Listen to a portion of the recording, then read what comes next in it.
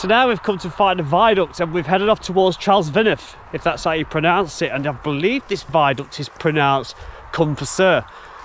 Probably absolutely wrong. I'll put the spelling down below. So Bala is over in that direction and you can see over here, there's your former track bed, look. So Bala in that direction and Ffestiniog in that direction. Looks like the remains of an old bridge just here too, look. Whether it was, it must have done, it must have gone up there. There's the abutment, foundation, and there's the other bit there, there's even a little bit of brick. Just there, look. So this viaduct obviously was opened at the same time as the line, 1861 in November. And it closed in 1962. I can see it in the distance. I'm going to turn you around and hopefully you'll be able to see it too. Just look at these gorgeous views before we do. There's the road down there taking us off towards Trawsfynydd. And the viaduct sits about there. So a few miles west of the lake and we're heading towards Trawsfynydd, but before that we've got Cwm Prysor Viaduct. Cwm Prysor Viaduct is an absolutely beautiful structure set in the middle of nowhere as you can see on the map. Let's go and take a look at it.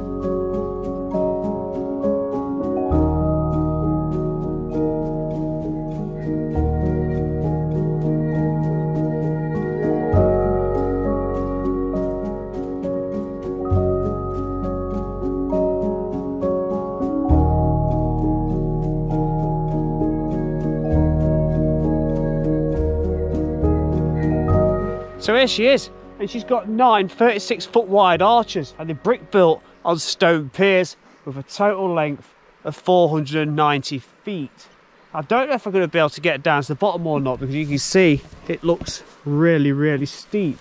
And also something of note is this sign here kind of give it a slightly different name.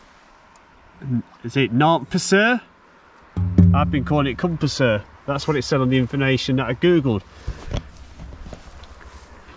whatever it is anyway we're here now and I'm going to get myself along the top of it and over to the other side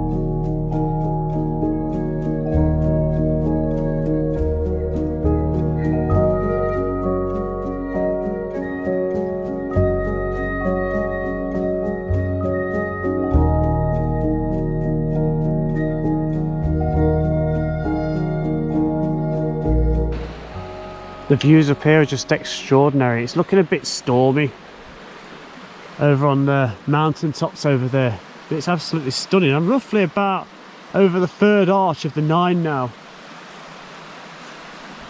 There's the view looking back to Bala. And here's the view looking in the opposite direction where we're walking now. And I've come down slightly now and I'm stood directly over the central arch.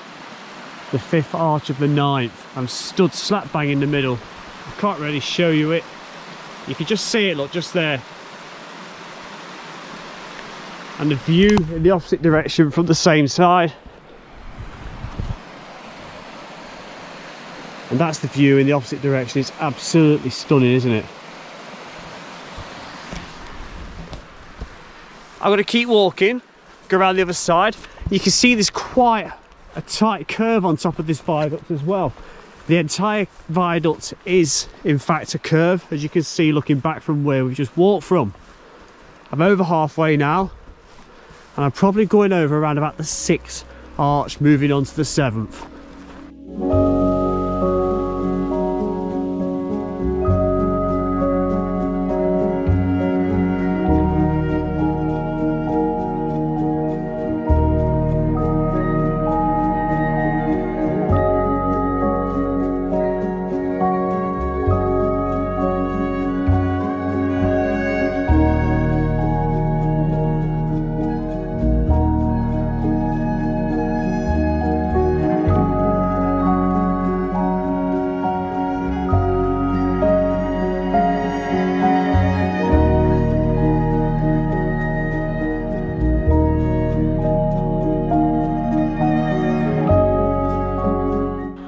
Right, so this is the upper end. It's absolutely stunning here. The interesting part of the track bed though is that it drops down, look, some of it is missing. I'm gonna have a quick trot down here and show you.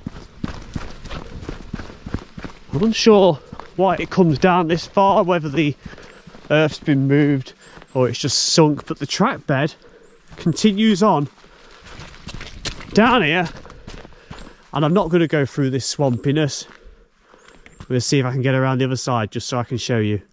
Right, I've made it to the other side, so if I spin you around, you can just make out the viaduct just there, look. And I'm back on the track bed level, so I don't know where that bit's gone. And I'm going to finish off this little bit. I'll just show you the former route heading off towards Ffestiniog. Right, so I do hope you enjoyed this video looking at the former Bala and Ffestiniog Railway. It's absolutely beautiful what we've seen today, isn't it?